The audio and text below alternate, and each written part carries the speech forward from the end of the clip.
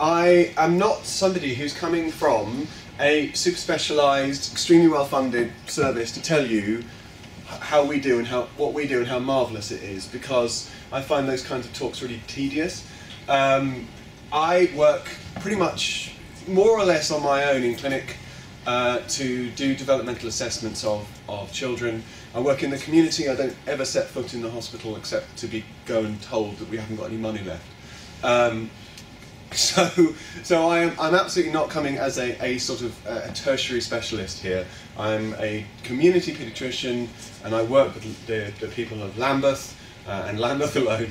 And uh, I'm essentially a developmental person who has drifted into ADHD because no one else was doing it.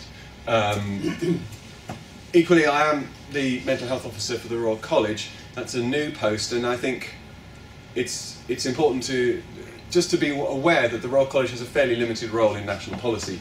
Having said which, we're going to talk about national policy first, and then we're going to talk about screen time, and then finally we're going to talk about uh, assessment, and I'm going to make the case for not having uh, specific ADHD diagnostic clinics, which I thought would get your attention.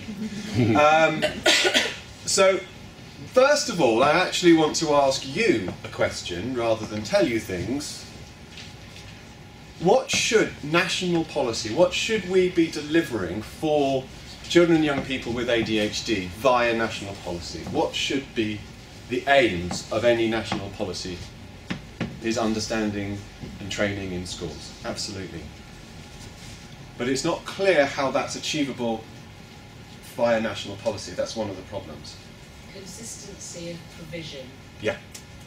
So uh, I will go back to that, but you're quite right that, that, that there's there's a the postcode lottery in ADHD is phenomenal. Well, you know, here you have actually more than ma- many other people do. And, and lots and lots of parents who are able to e- either access things Yeah. or know someone who knows how to access things Sure. or pay someone. And, and Lambeth is quite a different borough to Richmond, it's fair to say, um, and I think that you know there are different dynamics there. Um, yeah, that's very true. What else? Um, convince all GPs that ADHD is a real thing, um, even the ones who are a bit old and have kind of just got a bit lazy and dismissed it. Um, and the, oth- the final thing to, to, to I would add to that is uh, educate GPs that a child sitting still for 20 minutes does not mean they don't have ADHD, um, which is another constant irritation of mine. Uh, okay, Early and straightforward diagnosis. Yeah. So access to, and, and this is where I'm, I'm going to go on to at the end, because I do absolutely agree with that, but I ha- have a specific view about, about specific um, dedicated clinics. Actual provision for support within schools. Yeah. Not just the training, actual additional help. Yeah, absolutely. And schools are under a huge amount of pressure. Um, school support services are really being stripped away. So, yeah. Good support for parents. Yeah. So, what do you mean by good? I just want to, because that's that's a really interesting question, isn't it? I think parents often beat themselves up about their children thinking they've done something wrong. Mm. And I think parents need a lot of reass- reassurance that it's not their fault. Yeah, that is a really interesting insight, isn't it? Because people think, oh, support for parents means a course or it means somebody, No. you know, talking them through. It is. It is often just, Somebody Just saying someone you're doing ho- a great job. yeah. But I think And it's it's- specific courses for parents with ADHD because I think you go to a professional and say, oh, you need a parenting course. Yeah. And it's, you're told then, actually, it's your fault your child is like this. And it's not. It's a, and I guess that comes back to the lack of their understanding. But it's not Yeah. a normal parenting course that parents of children with ADHD need. They need a specific Yeah. and probably more smaller or more one-to-one. The, the, so they the, need more specific uh, uh, support, so more individual support as the child does. I Need complete. I, I agree with that from my own personal view and my own personal experience. That not only is it more useful for the parents of children with ADHD to go to an ADHD specific parenting course, it's also an awful lot easier to get them to go because the way I put it is to, to people with AD, uh, kids with ADHD, uh, parents of kids with ADHD, is that look, you're already an 8 out of 10 parent, but unfortunately, in order to deal with this child with this condition, you need to be a 9.5 out of 10 parent all the time, and that's really hard. What I think is hard for people who are already 8 out of 10 parents is to go to a course which is designed to turn people from six or five out of ten parents into seven or eight out of ten parents. Do you see what I mean? It's a very kind of simplistic view, but and I think it is really hard for people to sit there and be told things that they've kind of worked out for themselves for five weeks um, in order to say I've been on a parenting course.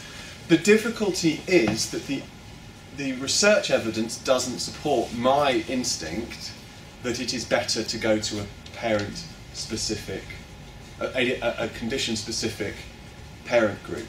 But the, the reason for that, I think, is that the quality of the parenting groups in a research study is going to be much higher than it is once it's been rolled out. But there aren't any, there are a very limited amount of parent specific courses for, for ADHD. So how can that Well, people have looked into specific courses? courses for specific, for specific groups and didn't show any benefit over a, course which was open to everyone.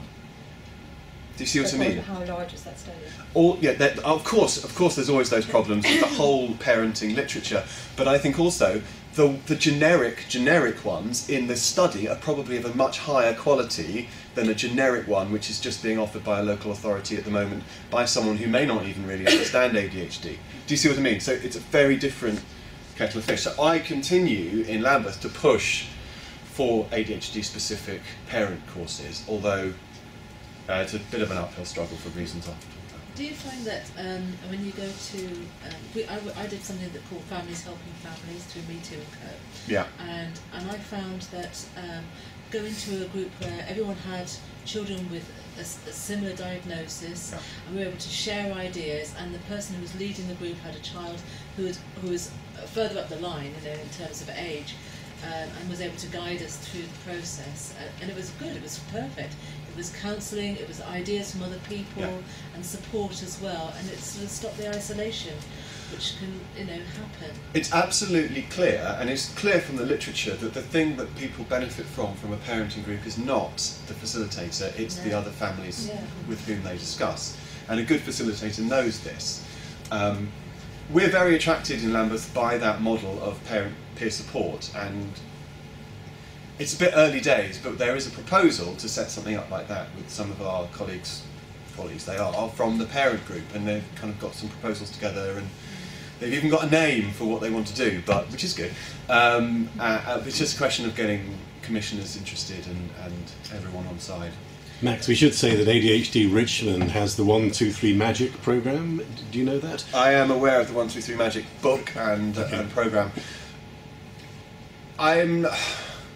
My only worry, having read the book, is that it's not particularly warm. It's not got that kind of uh, emotional connection that you get from something like The Incredible Years, where you have, you know, you work first on having a connection that will then allow you to have what I would call leverage over the child's behaviour. One Two Three Manage Magic, although it's very quick and effective, I worry that it, it skips that step of really reinforcing your relationship with the child. So if you have a relationship with the child, One Two Three Magic is a great way to jump in.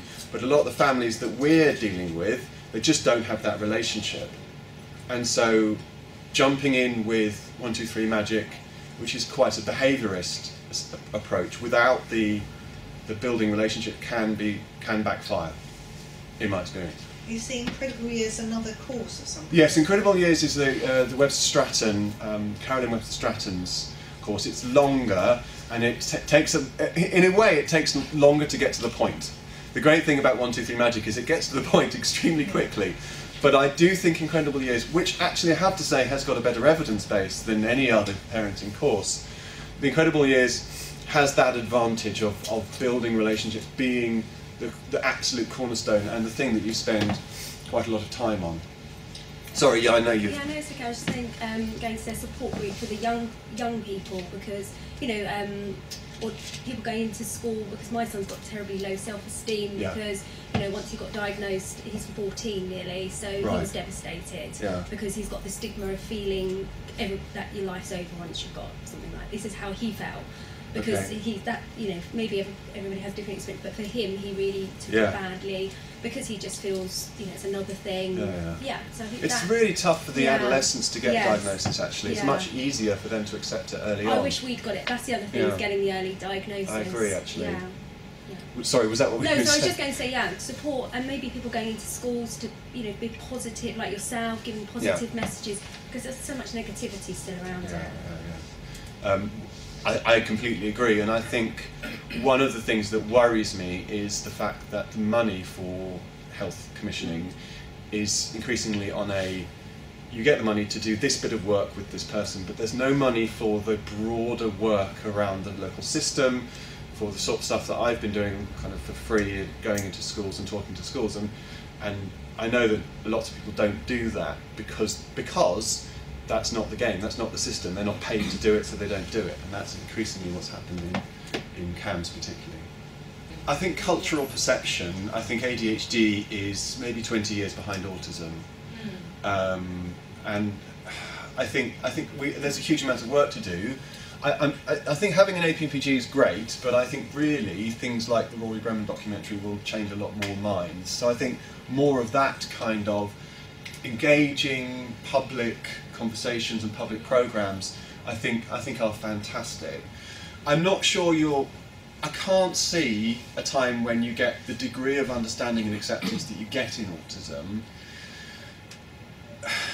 because there's always this thing you butt up against which, about behaviour and, and disruptive behaviour. So relate to all about like will.i.am. You know, lo- lots of No, no, people- no, When absolutely. they're bringing all those type of people Sure. in, uh, you know, Mark Ruffalo, uh, Michael Phelps, all these people, they have it, and then I think then that does help. that's great. The Hulk has ADHD. I love yeah,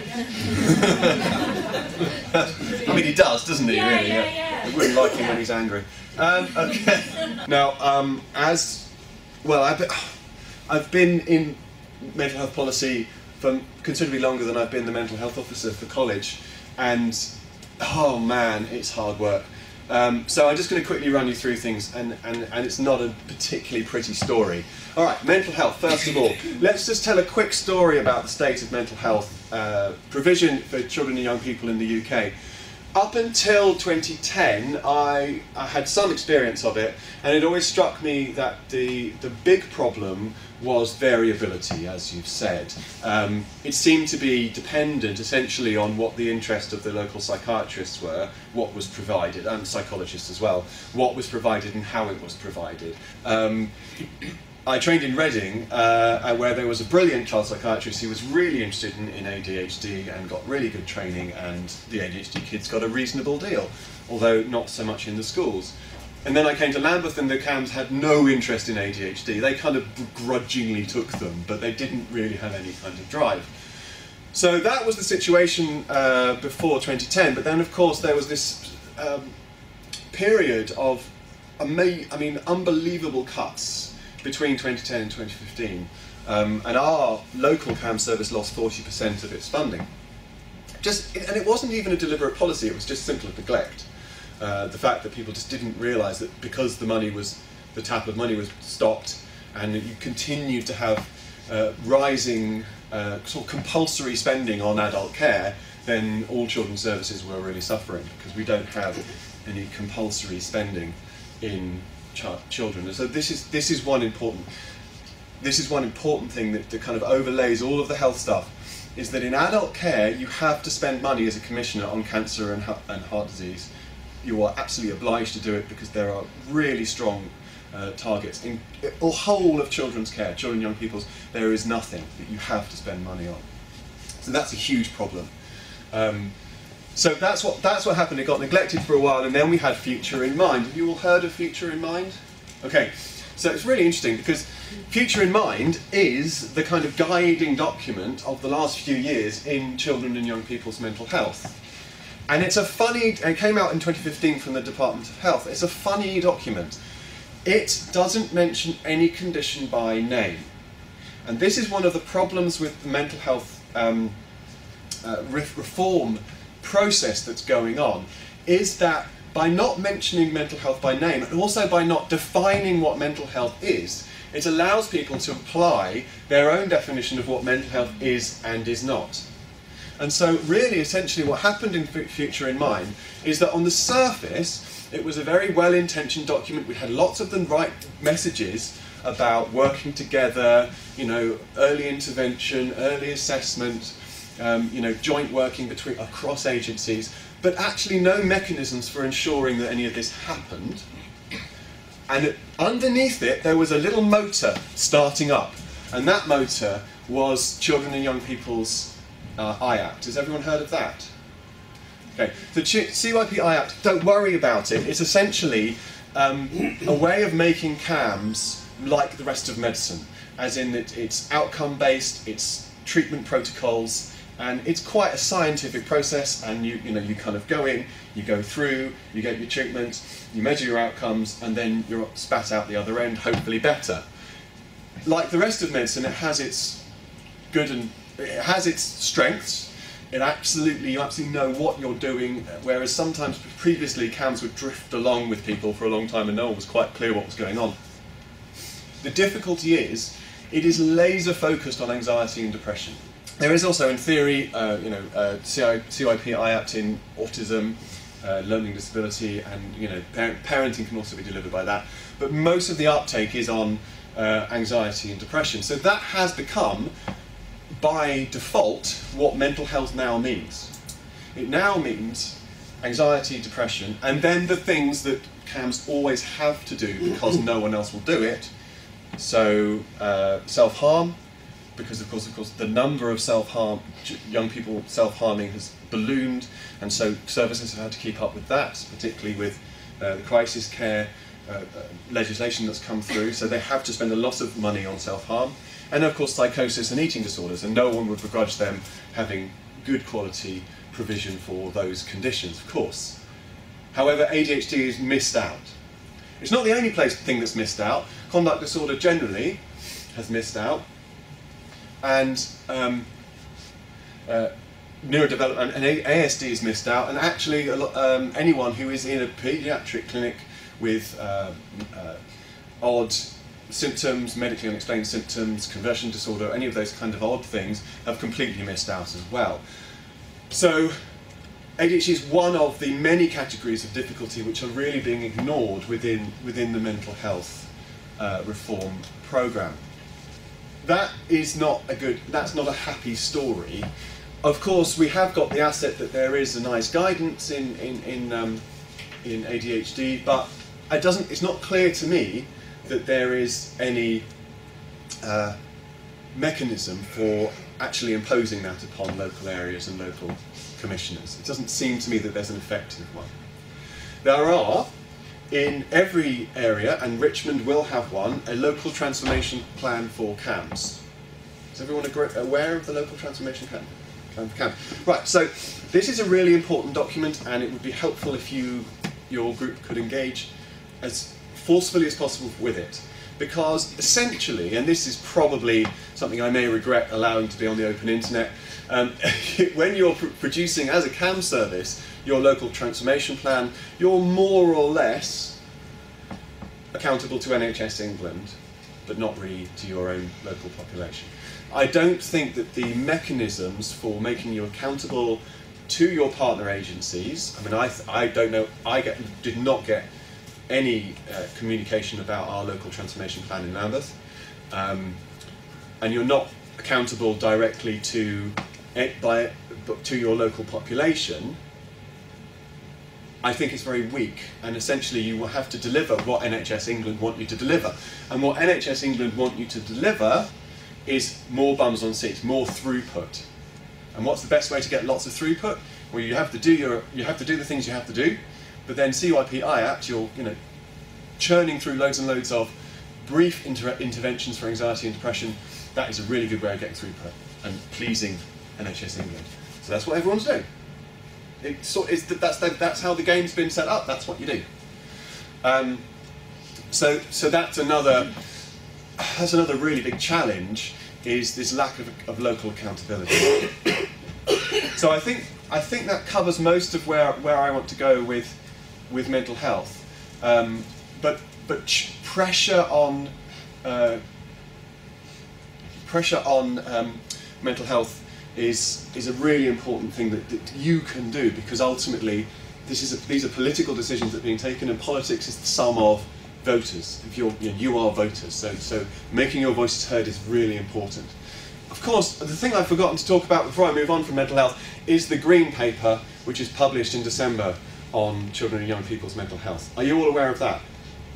You see, it's extraordinary that people, and it's not your fault because they snuck it out just before Christmas, and they did do a national consultation. This is brilliant. They did a national consultation event on the Monday of half term, and they and we found out on the Friday beforehand. So I don't know who went. Um, they are extraordinary. Um, and so, you know, they will say this was extensively consulted on, and there is an online consultation, and you can look it up and you can go and make your voice heard. I am not a fan of it. You may have guessed. what it does is it suggests uh, a mental health lead for schools. That's okay. Most of them already have one, but that's fine if you make it. Oh no, if you made it compulsory, I'd be all for it. But they're not even making it compulsory. They want to encourage schools because ideologically, this government will not make schools do anything because ideologically, they believe that head teachers are always right and should never be interfered with with any of their judgments. Um, I mean, that was that was essentially what Michael Gove thought, and it hasn't really changed over time. Um, so, so, so that's so that's one thing they're doing. The second thing they're doing is um, setting up. Well, they're looking at looking at setting up. And in fairness to them, they're going to pilot and evaluate. The difficulty being that when the government pilots and evaluates things, hey presto, it's always brilliant. Um, and, and a lot of us are a bit sceptical about that. So, for instance, they produced figures uh, a few years ago about the Troubled Families program that said to show that 98% of troubled families had been turned around. At which point, everyone went, "Say what?" Because that's that's just unbelievable. And then a few years later, it turned out that there was complete they were complete rubbish figures, and, and the troubled families has been quietly buried. Um, although it's still going on, but it's, it's not being talked about. Anyway, so this is what they're going to do next, which is these mental health support workers within schools. Now, it's not clear how it's going to work. It certainly seems that there's going to have to be an awful lot of people, an awful lot of these people, but they're going to be embedded in schools and provide mental health support within schools. That sounds like a really good thing. The difficulty is, what are they going to be able to deliver? They'll be able to deliver short, short interventions into anxiety and, and mild to moderate anxiety and depression. Does that sound familiar? That's the that's the throughput again. It's how much you know. What the government wants is to be able to treat X number of children and say we have treated X number of children by 2020. That's that's that's the target. And whether that treatment is needed, beneficial, leads to any long-term outcomes doesn't actually matter politically. That's what they want. Jeremy Hunt wants to be able to say that in 2020 during the election campaign, and put this issue to bed electorally. But within the schools, those people who are appointed in those roles, what kind of training are they Well, that's a, that's an excellent question, and there's a lot of discussion about that. How on earth can they deal with the complexity? Absolutely. And I think what the, the danger I the, the danger I feel about this proposal is that they will deal with the simple stuff, and the, the, the more com- it, the more complex stuff, which is, oh it's not we can't deal with that. They'll say oh it's social. If there's any kind of social vulnerability, oh it's a social social care issue. Because I know this because this is what paediatricians have done for years. It's a social care issue. It's not really for us. Or if it's an educational issue, oh, it's more of an education. It's, eh, get, see if you can get an education psychologist to see them. And that's okay. confusing for parents. It's very confusing for parents. Absolutely. And so they are going to run some parenting courses, but again, we've had the discussion about parenting courses and, and their limitations. They're not of no use, but they are limitations in the use, particularly if they're not done by highly trained people. So I, get, I understand that as well. You- you've already really hit upon the difficulties with this model. Well, I've witnessed it, and you know, I've got the school my child was attending. The SENCo was off sick on uh, for you know most of the year, and Yeah. so the deputy head was handling that role. She had no knowledge Yeah. of any kind of special educational needs. So Yeah. uh, you know, but you know, as far as the school was concerned, they were fulfilling their responsibilities because they had appointed someone, Yes. someone who couldn't actually do the job. Yes, and the only thing you need in order to satisfy Ofsted is to have someone in the job. And that's just one tiny example, but you know, Yeah. when you're saying things like that, it really scares me because I've witnessed it. Like people Yeah. who won't train and can't handle situations. So it's not all, all is not lost. There is, of course, the consultation, uh, and we have put in a, a fairly uh, robust uh, dis- response to the consultation. Um, I think they could be a useful group if they are embedded in a local system. And I think systems, I mean, everyone talks about systems rather than services when it comes to mental health and it comes to supporting children and young people. Um, but no one's actually doing anything about it, and the Green Paper doesn't do anything about it.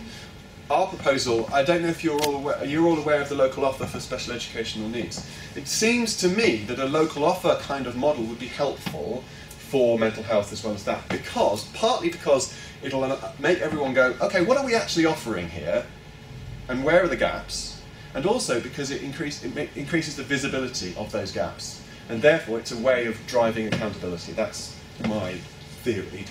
Finally, of course, you can then inspect it. Because actually, inspection of CAMHS is very much about the specialist service. And of course, if the specialist service don't take half, you know, 90% of the children with needs in the community, they can actually look quite good because they're only dealing with what they deal with. Uh, where I think inspection of mental health provision should be about the area, not CAMHS services. Do see, does that make sense to everyone? So I think that's something that we can do, but I just I'm not necessarily. I get a lot of people nodding and then not not much follow up. I'm not not having a go at you guys, but, but anyway, that's my idea. Um, now I am going to move on, on from mental health. And so, what's the situation within paediatrics? Because we need to look at our own house and get our own house in order before we start throwing stones around in mental health. And it isn't great, I have to say. Um, that one of the things that hangs over all of this is this status of ADHD and, in fairness, the rest of the neurodevelopmental disorders as somewhat in between mental health and pediatrics. They are developmental disorders, and therefore pediatrics is increasingly interested in them. We, you know, comes essentially from the fact that we've always had paediatricians doing development, and we're actually rather good at it. And people like me have gone, well, if we're doing under five developments and we're good at that, why don't we try and look at the development of children over five? Because there has been a tradition that anyone over five basically is a, is a question for education. And if, if, if desperate CAMHS and we don't get involved, and I think that's profoundly wrong, but I'm not necessarily in the majority. Um, so, really, for me, our interest in ADHD comes from a developmental perspective. It comes from being interested in children's development, and actually, it also comes from the fact that um, this may be a small, small tangent. It comes from the fact that if we all, we, pedi- pediatrics is increasingly the agency for diagnosis of autism. But it's meaningless to, to have a diag- autism diagnostic service if you can't also identify the differential diagnoses, the other things that might be going on, and also, you know, the, so um, dyspraxia or DCD, ADHD, uh, anxiety, depression, uh, trauma, all of those things you have to know about. So, therefore, we are committed in paediatrics to uh, being involved in ADHD. Now, I have a little bit of good news. Um, from the point of view of commissioning, it's still very unclear. There isn't any clear commissioning guidance for neurodevelopmental conditions.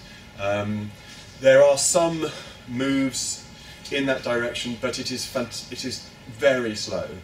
Um, all I can say is that at the very highest level, it is acknowledged that this is an area which we have really done badly on.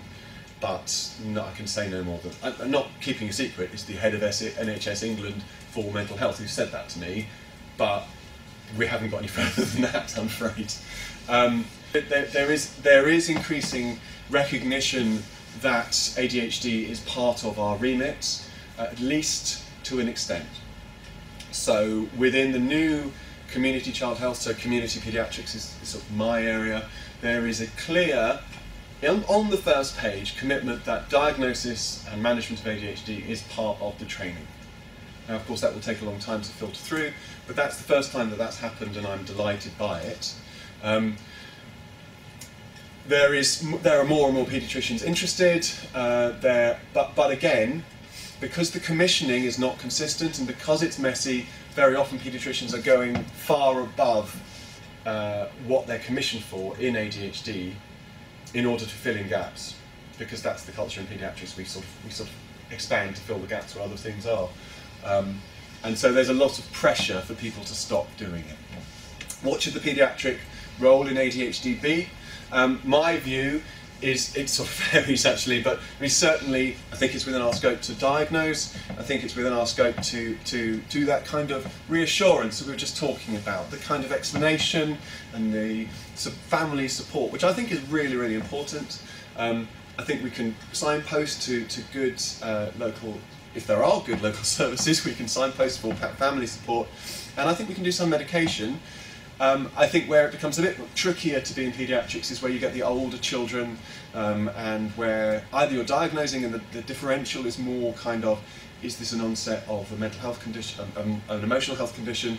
Is this you know related to substance misuse, which unfortunately is something that we have to think about in Lambeth a lot? Um, you know, is there something else going on? So, and also the adolescents tend to have a different kind of pattern of coexisting conditions, so much more anxiety, depression, and, and, and actually substance misuse as a consequence of ADHD as well as a possibility, possible alternative explanation. Do you see what I mean? So, so at that point, my personal view is that we, we definitely need CAMHS, at the very least, involved. So we can't do it alone. I suppose that's the, the message of what I'm saying. We can't just take ADHD from CAMHS and say, you're not doing this properly, we're going to do it. Partly because we haven't got money, and, and actually because we, we probably don't have the skills to do the whole thing. So there are there is progress, um, and I think I think there will continue to be progress. But we're at the point now when we need to sort out um, we sort out as you were saying consistency of commissioning, and, and that is very hard to come by.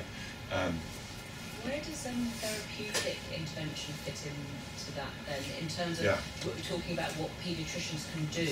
Absolutely. Because I think one of the, the big sort of stresses for families is that um, basically getting an ADHD diagnosis once you've got over that hurdle is what can you do for me now? Yeah. Um, and it's usually you can give me some medication Yeah. or nothing Yeah. um, at CAMHS, but there, but there seems to be a definite role for some kind of therapeutic and other interventions. I think and we- I wonder where paediatrics fits in. Well, I, I, I think that's absolutely right, and I think the ideal model is one where paediatricians are involved, but we can't do everything. You're quite right. So in under in, in, in under 11s, the we have to stick to the NICE guidance because what, what however much we would want to have other things involved, we're not even achieving what's in the NICE guidance. So let's do that first, and then we can look at other options. So in the under 11s, it is essentially good quality, you know, psychoeducation, which is essentially what we're talking about, the reassurance and the, and the and the talking through things and the coaching.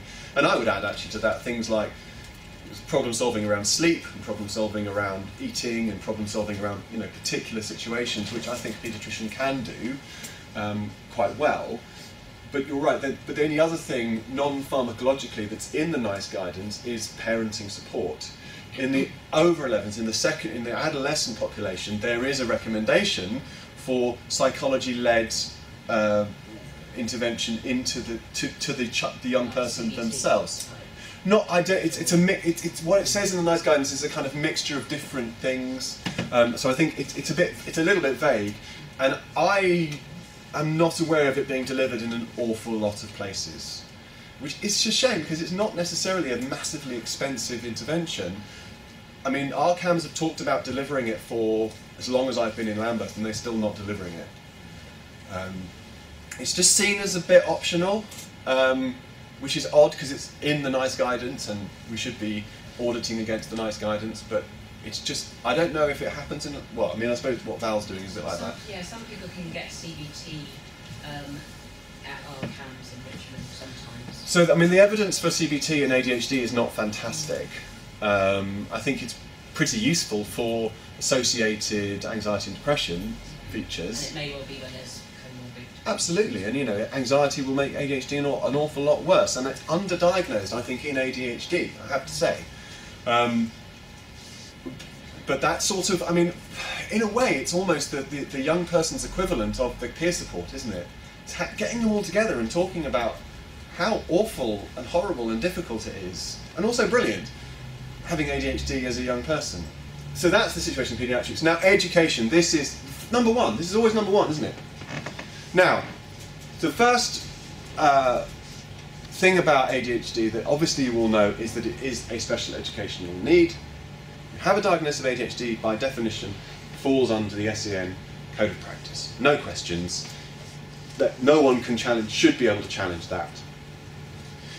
However, the provisions, if you haven't got an EHCP, as you know, the provisions and the, the requirements of school are pretty poor.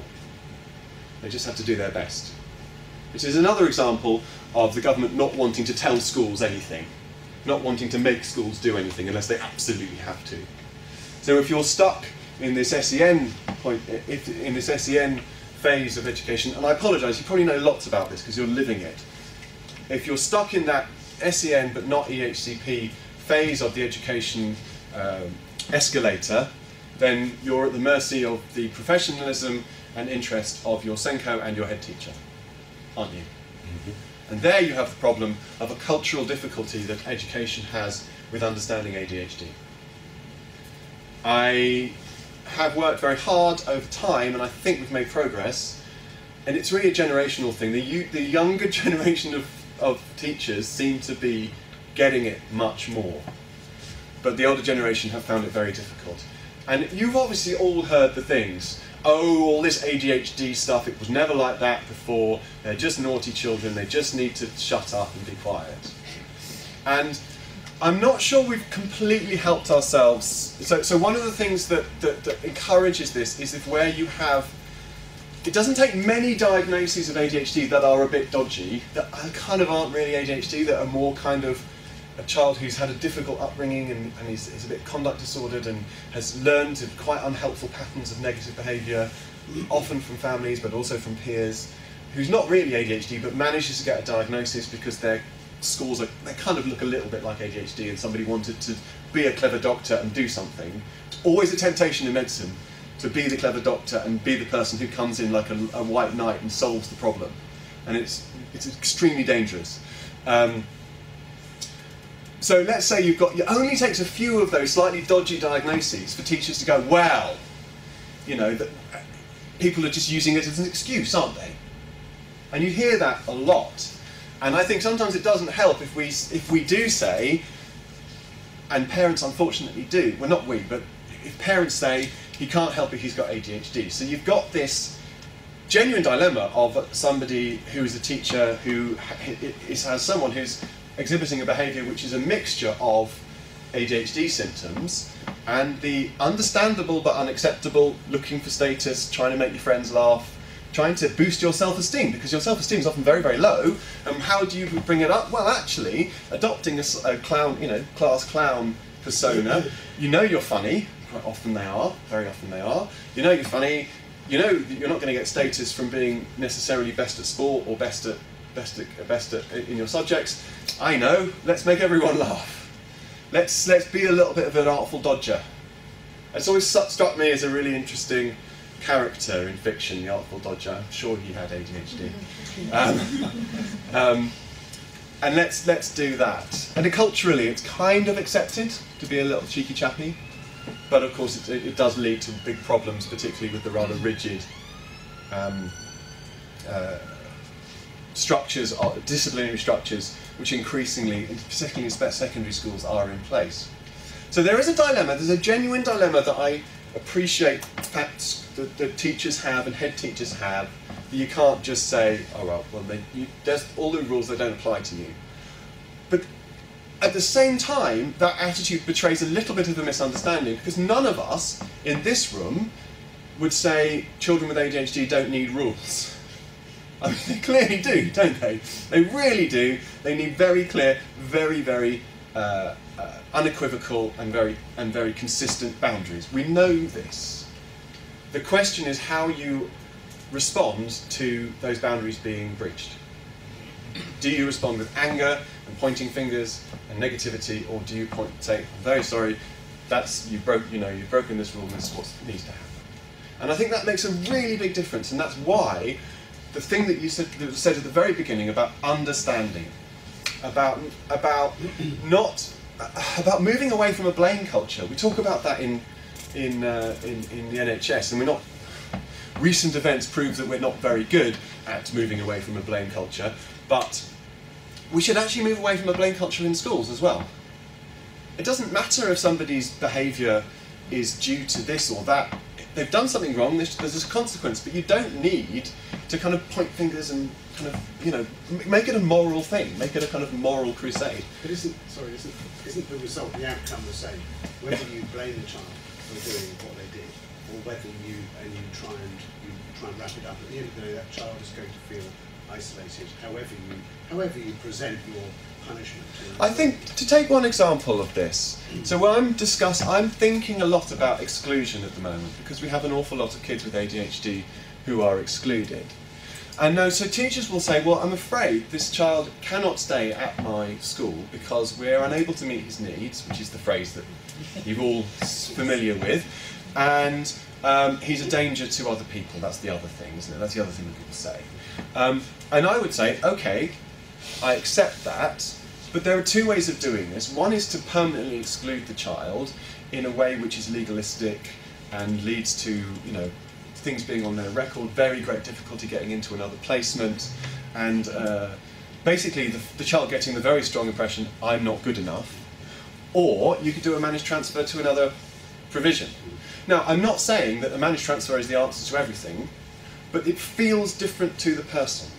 I think it feels different to the person to say, we've, I think it's about how the relationship is maintained, even if consequences are put in place. But you're quite right. I would say that for the same behaviour, someone with ADHD should be given some allowance. behaviour is the manifestation that we're dealing with Yeah. is an unmet need of some kind or a lack of skill or a lack of something going on. Um, and so, as well as um, giving a consequence, which is, a, is typically appropriate, as well as giving a consequence, we also need to look at what's the underlying thing going on here. So, does this child have good enough social skills? Who's helping this child with managing their emotional regulation, Sure. problem solving? You know, where's the intervention? And so, Yeah, absolutely. so That's so a very, you- very so good if point. you've got a child that's at the point where they're being permanently excluded or managed to move, which is, um, you know, managed move typically is from one similar setting to another similar setting. Yeah. Well, the, the other thing you should be doing at that stage is saying, and what about an education, health and care assessment? Yeah, Because absolutely. then you might be able to put in place a structure, even if this child is has to move, Yeah. put in place the support that they need because otherwise just giving consequences works if you have a neurotypical child but generally doesn't manage the underlying unmet needs. So, so I think I think that point, which is almost really good enough to repeat, so that the YouTube audience get to hear it as well. Um, uh, you know, it, it is that yes, of course, you need to make you need to intervene. You need to make interventions, and you need to make allow you need to make accommodations to the child's needs. And, and of course, to simply say, well, you've you've breached the rules, we're going to kick you out. It's a bit like saying, well, you know, uh, you have we know we have problems with reading, but so what we're going to agree is that you have to read better, otherwise we're going to kick you out. It doesn't make sense. You know, they have to put in, in place interventions. The question is what we do to improve education. How national can national policy levers be used to improve things in education? And it's very difficult to see. we continue, and lots of people continue to press for uh, uh, classroom management and uh, understanding mental health to be part of teacher training. However, they will always come back and say, "Well, there's only a, there's only a very teacher training is amazingly short, and they, well, where's where's the space? What do you want us to kick out?" One of the things, of course, we must press for on the green paper is that when you have the mental health lead, that that needs to be integrated with the SEN agenda, and that mental health isn't just about picking up the sad and the, the sad and worried people. It's about picking up the fact that this child who's disruptive may have ADHD, or this child who does have ADHD and is being disruptive is being treated as somebody who has, you know, using an SEN framework rather than with a disciplinary framework, or if excuse me, with, with both frameworks. So it's, it's uniting those frameworks in the school seems to me to be an important thing that can be done with a national policy lever. Uh, but ultimate, and, and ultimately, of course, provision of better uh, support services, uh, which is part of the commissioning issue. Um, educational psychology is really ignored as uh, a potential lever for helping mental health in schools in a green paper which is all about mental health in schools. It's a bit really odd that they are not talking about educational psychology uh, provision because I think that would be really helpful because they will know you know, they're properly trained people, uh, and they will know not to make this division between, oh, that's behaviour, oh, that's not, do you see what I mean? Oh, no, that's But again, health. that's that's very inconsistent Yeah. EPs because I found out recently that each school get to buy into EP Yeah. time. Yeah. So from one school to the next, Exactly. you know, they might request help, you know, once a term or once a week, or, but it's entirely up to them. Absolutely. So rather than pouring money into into into, into bringing in people of un, unproven value with unproven amounts of training with these mental health support workers, why don't we just you know ring fence um, ring fenced spending for educational psychology? Because they're people are already there, they're highly skilled. But the problem is that would not allow Jeremy Hunt to have a legacy. because he can then say, we've recruited X number of people. But if you're just increasing, if you're just increasing the availability of existing services, that's not as whizzy when you're writing the 2020 manifesto. I'm sorry to be, I'm sorry to be a cynic, but that is how politics works. Uh, so, uh, anyway, I'm going to move on. So, the, the proposal, a couple of things that people have come back and said, well, what we need is an ADHD Act. Because a lot of the things that I've suggested could be wrapped up in an ADHD Act. Those of you who are aware of the ADHD Act, what else would it do? Because I don't know. I'm asking you. I would get people the. People, the, the, the percentage of people that understand what attention deficit disorder or attention deficit uh, hyperactivity disorder is. Uh, the percentage is so low against the number of people in this country that have it. Yes, and that is undiagnosed. I, I agree, but I, I wonder if an Act of Parliament is going to make i- i- is the is the is the best lever for that. Okay, health, but it, it gives it gravitas, it gives it publicity. Sure. We talked about it in the papers. Yeah. Yes. It does, and it gives a parliamentary seal to the diagnosis, and, and you, you, you, it would be very good. So I'm not saying an ADHD, ADHD Act would not be a good thing. So my fir- so that's my first thing is is is it the right lever to achieve what we need to achieve? What are the options? Well, just to just to go back, one is constant pressure on the current legislative programme. So the sorts of things I've talking I've been talking about with, with reforming the green paper, uh, making it more of systems based. Um, you know, changing the changing this kind of changing the um, the focus from mental health support workers to educational psychology. Um, I would say I forgot to mention um, one of the problems is that local authorities don't have to um, gather any data on the ADHD children in their local in their schools, whereas they do have to da- gather data on autism. That would be a very useful change, and in fact, that's the first thing that our head of education said. We're not doing enough for ADHD in our schools, and she said, "Well, how many are there?" And we went, "I don't know," because we haven't got any way of saying. So we're trying, having to ask the schools. And you could encourage um, when public bodies like schools are looking at their public sector equality committee under the Equality Yeah. Act, encourage them to, because they don't have to focus on Yeah. ADHD in particular, but as a disability, encouraging focus Absolutely. So there's on all of that sort of the guidance. relationship with exclusion. I mean, at some point, the DFE will do an update of the SEN Code of Practice. It probably won't be for a few more years, but when that happens, ADHD has to be in that document much more prominently. One of the worries I have is that the current proposal from the DFE seems to be to teach mental health as part of sex and relationship education, which is kind of missing the point of how big mental health is and how big the subject is. Um, so, so I think that's another. So there's multiple. My point is that there's multiple points that you can pressure. It's just it's very hard to keep them all in your head and kind of be aware of them all. Um, I'm afraid to say, and I, I, I say this with a heavy heart, I think it's very unlikely that you will get an ADHD Act. You have had you have had an Autism Act, and I appreciate that, but I think that's an anomaly. There's never been an act about a specific condition, neurodisability condition, before, and there hasn't been one since. And I think legislators would say the following: They'd say, "There's all of this legislation going through about children and young people's mental health. None of it mentions any condition by name." why should I do an act specifically for your condition and not for all the other conditions which will be who will also be lining up to have their own act of parliament? So I'm just and also the government haven't got any legislative energy because of and I think I can say this in Richmond, bloody Brexit. if I was speaking in Lincoln I might. might be different. I bet there's some Brexiteer in the comments. it's going to be marvellous.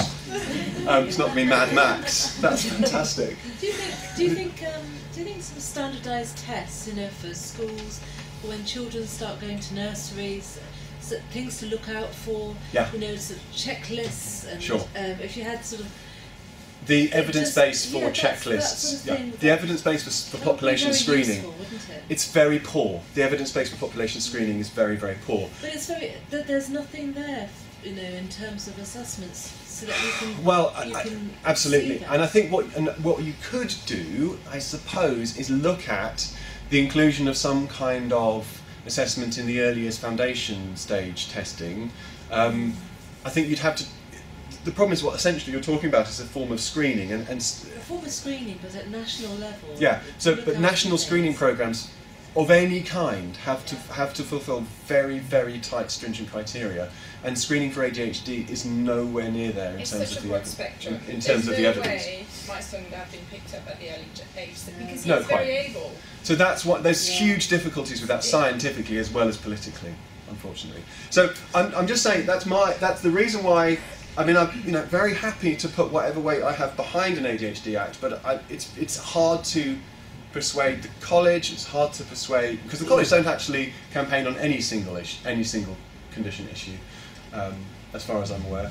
Um, so it's hard to persuade the college to, to, to sort of take this up as a cause.